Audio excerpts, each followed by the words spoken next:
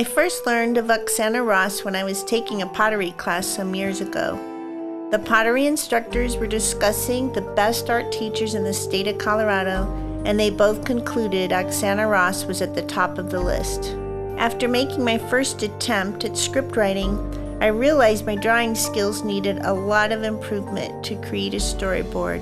I began researching drawing classes in the Denver Boulder area. Colorado Free University offered a Learn to Draw Basic Mixed Media class taught by Oksana Ross. So I always look forward to our Wednesday meetings. Did you have a good week? Yes. Yes. Right. And today is a very special day. So I thought I'd bring this to share with you today. Oh, Pretty, pretty. And you can, we can pass this around. Oh, boy. And Patty's one of my favorite students. And I'm so fortunate I meet the most interesting people uh, through my classes because I have been teaching all my life, both art and music.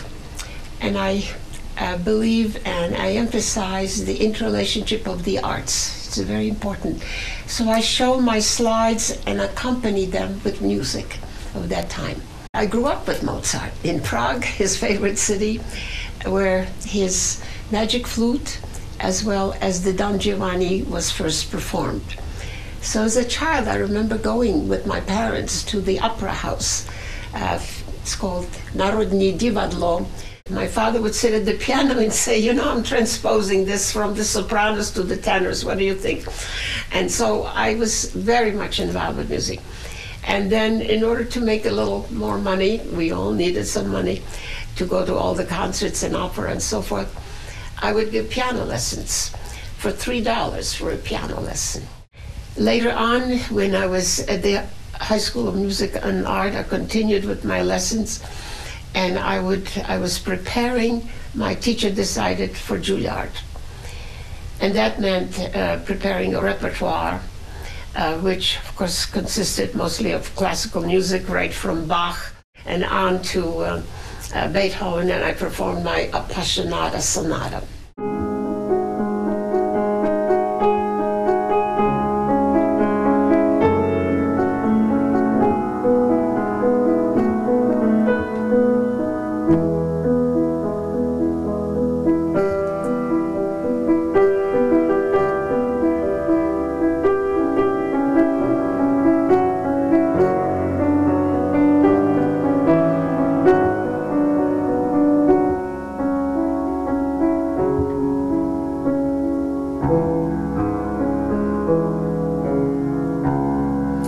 Something of the Moonlight Sonata. Moonlight Sonata. It's beautiful. Soft.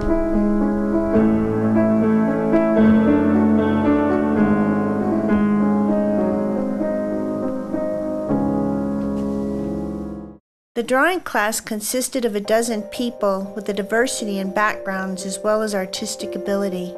The first lessons were discovering shapes, the contrast of shading and light, and perspective. It took several classes before I realized how the various techniques are used to enhance my drawing. The entire class was amazed at how quickly their drawings improved and took life. We now look at the world in a much different perspective. During our instruction, Oksana would share her many stories with us. She would also delve into art history, describing the technique of various art periods and how the music, politics, and culture all intertwined. Oksana is an icon in the art world. She often has a rather brash and bold edge to her demeanor surrounded by total pure passion and the burning desire to teach others to love and appreciate art as she does. And um, at one time, while I was at Columbia, there was a, a big party given uh, for Latin American students as well as other students. And I was invited. So I began to play. But it was a very informal party. It was in a huge hall, and people were, and I was just in the corner and playing. But a man was leaning on the piano listening to me, and I thought I wish he'd go away because I'm, I'm performing here, for playing. I'm hoping I can go through all the three movements without referring to my notes. When I finished, she said, This is quite extraordinary. You are a very musical young woman. I said, Well, thank you very much, and so on. In the meantime, the hostess came around, and she said, Why didn't you talk to him some more? I said, Well, who's he? She said, That's Claudio Arrau. I said, Well, Claudio Arrau, whom I met in Brazil, yes, that's right, he is. Oh, I didn't realize that. And happened to meet an artist that mm, the world, the whole world knows of him now, but at that time was not that well known. He came from Ukraine, and his name is Alexander Archipenko. And most people mispronounce his name and they say Archipenko. Right here in Denver, Walking Woman, 1812, typical of the period of Cubism. Now, this is almost at the same time as Picasso was there. Archipenko, who created this Walking Woman, Cubism, with concave and convex style of his figure that can be turned around. And is, she's very graceful, as you can see. In the summer, he taught in Woodstock, New York, which was an art colony. So I went there for a while. What I'm trying to make is the point that I lived in the 60s. That was the height of what was called the New York School. Later on, all over the United States, because I received my PhD, um, the role of Archipenko in 20th century art. Well, good morning. It is good to see you here. We have a crowd of people here. This is a room that represents Cubism as well as Impressionism. We are already looking at some of the paintings of that period. And as we look at Leger, and as we look at Gris, and then as we look at Picasso and Braque and others, we know we are in that era that made Paris famous. It was the Mecca. Now, there are various isms. There's Impressionism of Pissarro, who was kind of the leader, he was an older um, painter. And he and Cezanne were very good friends, but Cezanne's paintings belong to the post Impressionists. And there are three famous post Impressionists, and there are Cezanne, Van Gogh, and Gauguin, who worked mostly in Tahiti, in the islands. So this is an unusual early work of Pissarro. Notice that he hardly uses any black. When he wants a dark color, he uses dark green, dark blue. And artists who paint like to use uh, um, French blue or, or uh, an alizarin crimson together with, um, without using black. So the reason that this is important because when Archipenko was a young man in Ukraine, he studied uh, the art of the Renaissance masters, early Renaissance and right up to the high Renaissance, Leonardo, Michelangelo, and Raphael.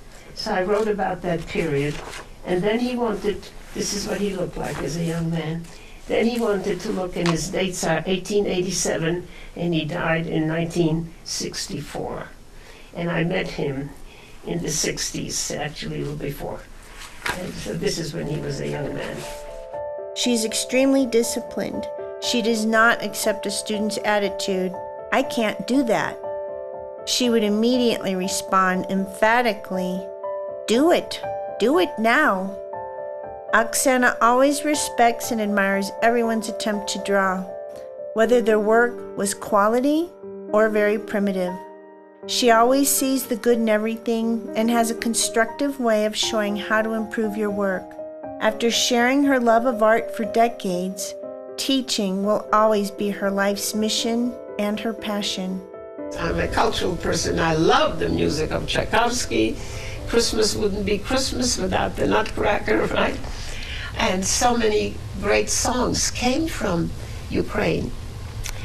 And so my mother would say, Now listen to this, because they call it Carol of the Bells. Has nothing to do with the bells. It's about a little bird who comes to bring good luck if you put some crumbs on the sill, she will come to wish you God. And she would sing the song. Щедрик, щедрівочка, прилетіла, ластівочка, стала собі щебетати, господаря викликати, and so on and on and on. And that's why I still keep my Ukrainian name, Oksana, which is derived, and I found that out only recently from someone who knows um, ancient history, that it's derived from Xenia, X E N I A who was the wife of Alexander the Great. And we have a street here in Aurora named Xenia, so it's not such a. So on my christening papers when I was born, it's not Oksana, it's Xenia. But then popular name became Oksana. and my life became easier ever since Oksana Bayul, the ice skater, the famous ice skater, got a gold medal, I think it was, for the best ice skating a beautiful young 16 year old girl from Odessa. So ever since she got her medal, my life is easier. And my students keep me going in a way. and so I'm looking forward to each class. They're always ready, sitting down with their pen or pencil in their hand, and I say good evening, and they write it down. Everything, they're just a wonderful response. I'm very fortunate. But Michelangelo also said to his nephew, nephew wanted to be an artist, his nephew said, go home and draw, draw, draw, draw. You can do it, never do enough. I tell them they go to a restaurant, let's say for lunch, and before her sandwich comes or whatever, she has to wait for the order. She's supposed to sketch people. And that's what artists have been doing for centuries. They're constantly sketching. Leonardo's drawings are not finished, but uh, they're superb. My friend and I were walking around looking at all the different artists, and then it was time to have lunch. So we walked into an ordinary little lunch place, just a small place. Uh, we sat around, and my friend sat right next to de Kooning, and we recognized him and um, we were talking to him. She was talking more, and she said, Why do you paint angry women? And he said, and I remember he bit into his hamburger and the juice was coming down his chin. As we were talking to him, he said, I'm angry at the world. The world is going crazy. It's getting more and more complex. And my girlfriend spoke to him more than I did.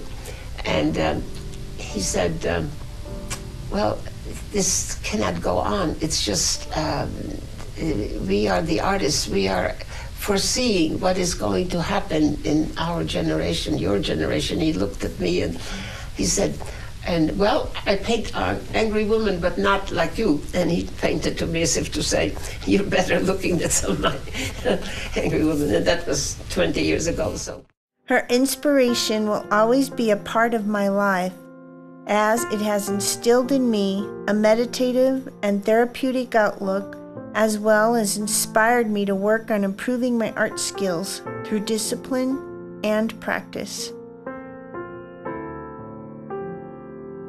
Thank you, Mrs. Ross, for sharing and instilling a piece of your passion in me.